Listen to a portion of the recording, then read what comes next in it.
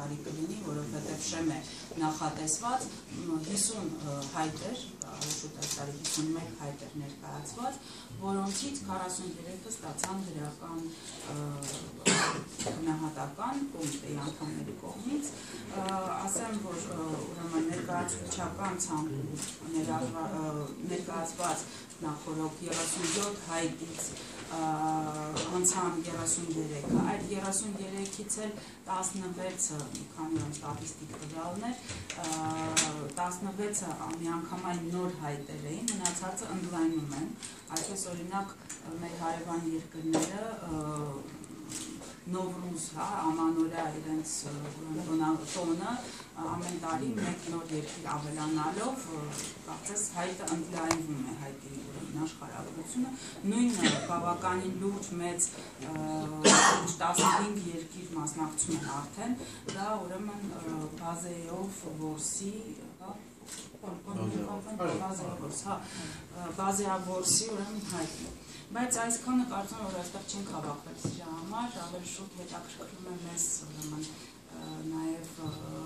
տարածաշրջանի կողմից ներկայացված մեկ այլ հայտ, որը մեզ անմիջականորեն առնչվում է, այսքանով խոսքը փոխանցեմ պարոն Կաժորանին, որը կներկայացնի ինձ հետո շարունակ։ Շնորհակալություն Իսամոջան, իհարկե մի քիչ ավելի սկսեմ, այսինքն այս կոնվենցիան եւ կոնվենցիայի նախատեսած ներկայացական ցանկը սողանցք է դարձել մի շարք պետությունների համար, ովքեր չունեն պատմություն, ովքեր չունեն մշակույթ, հին մշակույթ, կարողանալ ներկայացնել իրենց հայտերը այստեղ եւ դրանցել եւ այդպես ապահովել կարծես փաստացի փաստագրել իրենց պատմական անցյալը ավելի լավ հասկանալու համար մեզ հետաքրող հայտերից մեկի պատմությունը, որը ներկայացված է 5 երկրների կողմից՝ Իրան, Ադրբեջան, Թուրքիա, Ղազախստան, Հրվեստան եւ կոչվում է տափակացի պատասխան եւ տարածման մշակույթը, պիտի հետ գնանք երկու տարի առաջ, երբ Փարիզում 2014 թվականին ընդունվեց Հայաստանի կողմից ներկայացված լավաշի պատրաստման մշակույթը հայտը, ավանդական մի քիչ ավելի պատրաստումը, ավանդույթը մեկ ու այսի շատ լավ իսկապես մշակվել էր, որ համապատասխաններ կոնվենցիայի պահանջները, միշտ այս դեպքում այսին շեշտադրումը դրված է զուտ հացային տարատեսակների վրա։ Եվ այն ժամանակ, երբ կոմիտեն գրանցեց առանց խոչընդոտների գրանցեց Հայաստանի կողմից ներկայացած հայտը, պատվիրակություններից մեկը մասնավորաբար Ադրբեջանի պատվիրակությունը բողոքում էր, դժգոհում էր եւ միևնույն ժամանակ հենց այդ ընդունման օրը Ադրբեջանի արտաքին գործերի նախարարությունը եւ մշակույթի նախարարությունը տարածել էին մի մամլո հաղորդագրություն, որտեղ հողում կատարելով կոմիտեի վրա ասում էր, որ կոմիտեն հրաժարվել է գրանցել Հայաստանի հայտը եւ կոչ արել Ադրբեջանին հավաքագրել տարածաշրջանի շահագրգիռ երկրներին եւ ներկայացնել նոր հայտ լավաշի վերաբերյալ։ Սա իհարկե ամբողջությամբ կերտիկ է, մենք այս մամլո հաղորդակցության օրինակները տրամադրեցինք նաև քարտուղարությանը, կոմիտեի անդամներին եւ քարտուղարությունը համապատասխան հստակեցումներ կատարեց, որ որևէ կետ ինչ որ գրված այդ հաղորդակցությունը չի համապատասխանում ճշմարտությանը եւ կոչ արեց Ադրբեջանին զերծ մնալ քարտուղարության կամ կոմիտեի անունից որևէ կերտիկներ տարածելու Անցավ երկու տարի եւ Ադրբեջանը իհարկե կատարեց այն, ինչ խոստացել էր, հավաքագրելով 5 երկրների, պատրաստեց այս նոր հայտը եւ ներկայացրեց այն։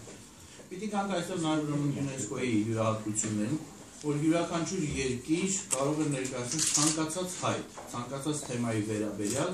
եւ ՅՈՒՆԵՍԿՕ-ի կամ կոմիտեի փորձարարական մարմնի իրավասությունների մեջ չի մտնում ճշգրտել դրանց իսկությունը, իրավացիությունը, փաստացիությունը, կոմիտեի փորձագիտական մարմնի դերը կայանում է նրանում, որպեսզի նրան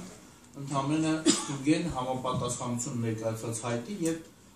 հայտերի ներկայացման չափանիշների հետ։ Այս առումով կարծես թե խնդիր չկա, բայց իհարկե մենք խնդիր ստեղծելու տրամադրությամբ ենք գնացել Այսինքն կներեք, որ ընդհանրում նախորոք արդեն լինում է դրական որոշում։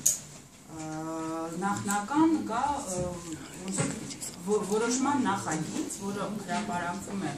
մի քանի շաբաթ առաջ եւ այնտեղ երևում է որ բոլոր չափանիշներով հայտը համապատասխանում է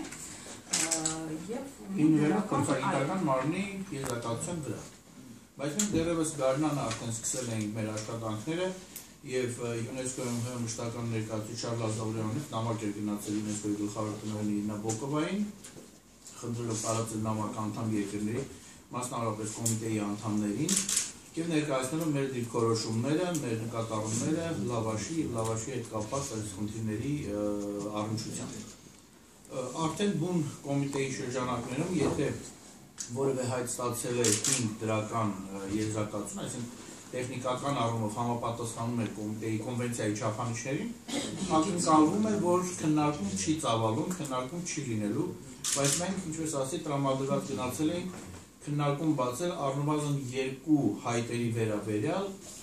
որոնք որ չնայած ստացել են 5-ից 5 դրական կարծիք, փորձագիտական այնուամենայնիվ մեր մեր կարծիքով պարունակում են բազմաթիվ պատմական, քաղաքական անճշտություններ թեթևակի, եթե թեթևակի ասենք։ Դրանցից մեկը իհարկե այս 5 երկու կողմից ներկայացած տապակացի պատրաստման մշակույթ հայտն է, մյուսը վերաբերում է Թուրքիայի կողմից առանձին ներկայացված չինի տեխնիկային, չինին չայնա բառից է գալիս, հաղճապակի եւ խոսքը գնում էր այս հայտի մեջ Քյոթախիայի, Իզնիկի եւ Չանակկալեի հաղճապակու արտադրության արտադրությունների մասին։ Իսկ ինչպես հայտնի է, պատմականորեն Քյոթախիայի հաղճապակին հայկական արտադրություն է եղել եւ լքվել է Թուրքիայում միայն 1921 թվականներին արդեն ցեղասպանության զոհ դարձած հայ ժողովրդի կամ քյոթախեի բնակիչների հայ բնակիչների կողմից, բայց նրա երեք ճյուղերը շարունակություն են ունեցել, մեկը Երուսաղեմում, մեկը Աթենքում եւ մյուսն էլ այ ներկայիս Հայաստանում։ Ինչ է մեր քննարկումները ծավալեցին այս թեմաների շուրջ եւ պիտի ասեմ, որ դժվար է իհարկե բանակցել 5 երկրների հետ,